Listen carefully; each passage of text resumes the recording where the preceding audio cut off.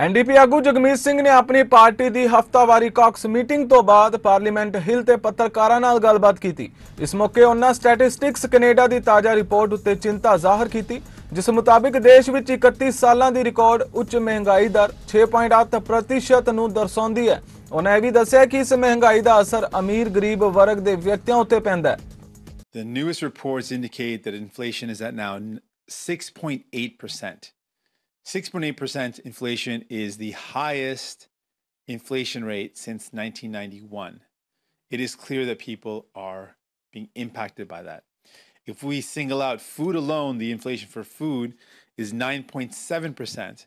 And if we factor in wages, wages have only gone up 3.3%. So what people are experiencing is a significant pay cut their buying power has gone down, and it has meant that families have to cut.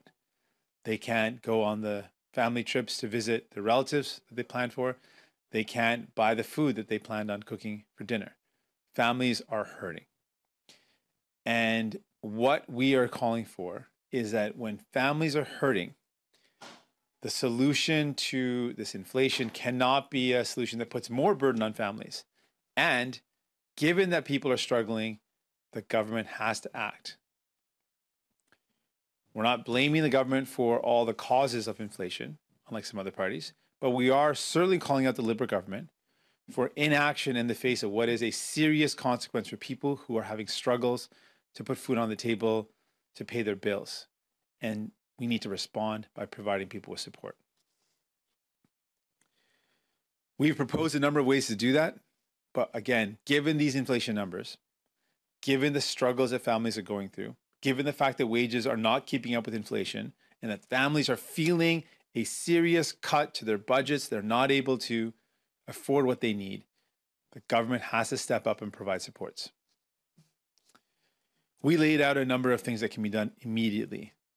In our motion, we talked about how we can immediately end fossil fuel subsidies and reinvest that money into helping people by doubling the GST tax credit and by increasing the Canadian Child Benefit.